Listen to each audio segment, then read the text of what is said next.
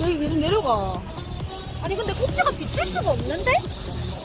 꼭지가 비칠 수가 비칠 수가 없 비칠 수가 없는데 그 정도 위치에 있지 않은데 꼭지가 지금? 그 안에.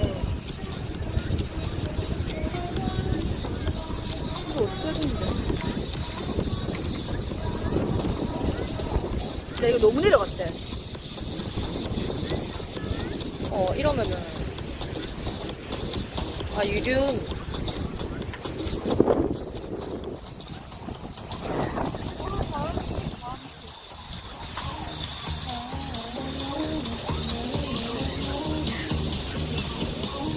아 근데 레알 레알 유륜이 아닌데?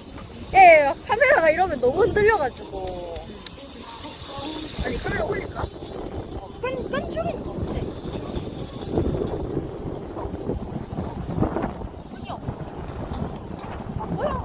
아 아드네리님이 레드벌룬 한 개를 선물했습니다. 아드네리님이 3251번째로 팬클럽이 되셨습니다. 자, 우리 이제